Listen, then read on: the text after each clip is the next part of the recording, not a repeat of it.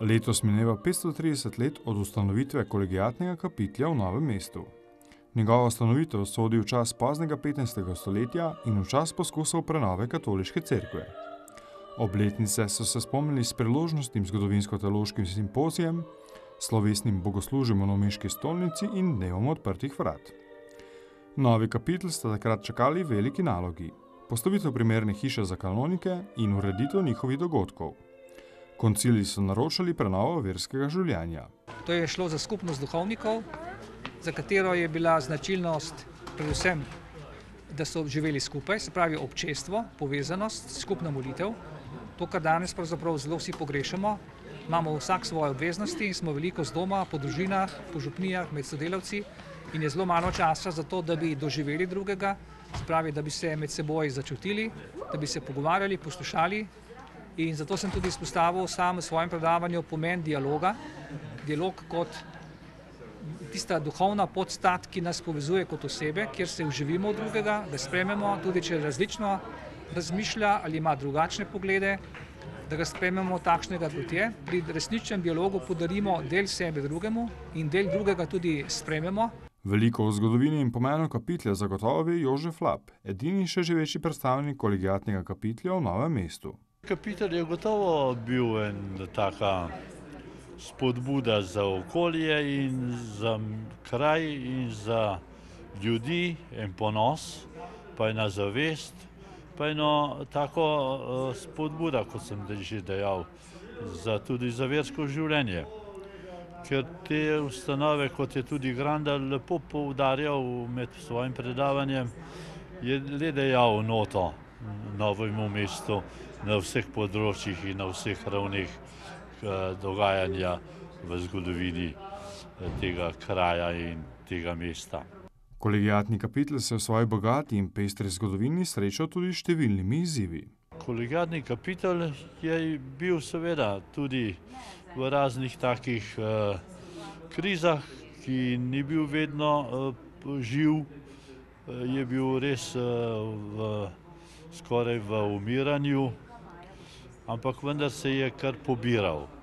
Ker ljudje so vendar živeli, le čutijo te korenine pa to tradicijo in tudi sam kraj pa same stavbe in samo okolje seveda spregovori o tej zgodovini in tem poslanstvu, ki ga kapitel vrši.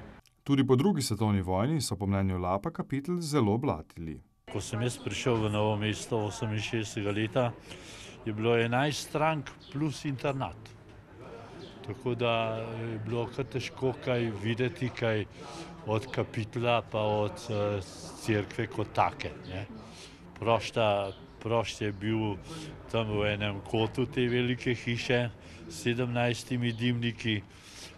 Seveda drugod so bile pa razne stranke, ki so pač po svoje životarile in pa preživljale tudi svoje življenje v tem prostoru. Pozneje je bilo treba te prostore restavrirati, obnavljati. In je bilo tu zelo živahno vsa leta. In smo tudi tiste kropive pa vse tisto golazen, ki je, se je zrasla okrog te hiše, kajti internatarji so imeli tudi zadnji vrt za proštijo, tudi za, za odpad vsega, kar so, kar niso rabili, so vse zmetali skozi okno in jaz sem to pol po, po tolikih letih z velikimi tovornjaki odvažal in pospravljal in kultiviral. Dejstvo je, da je bil in še vedno je v Novem mestu edini kolegiatni kapitel v Sloveniji.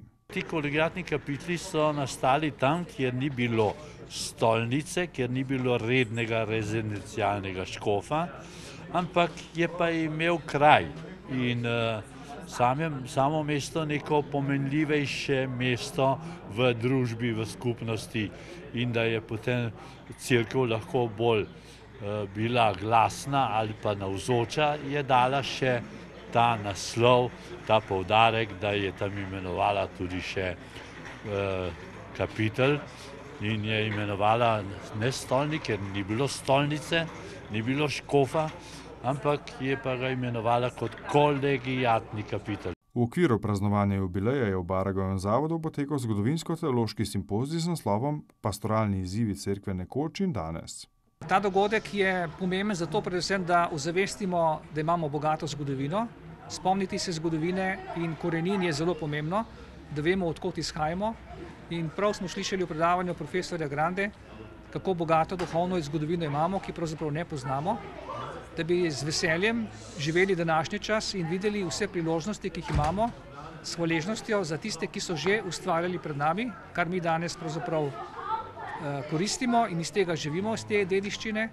Hkrati pa se ne smemo ustaviti v preteklosti in uh, zamuditi priložnosti, ki jih imamo danes. Živimo v času, ki je poln izzivov in opolnomočeni z izkušnjami preteklih let ali preteklih časov, lahko tudi bolj kvalitetno živimo sedanji trenutek.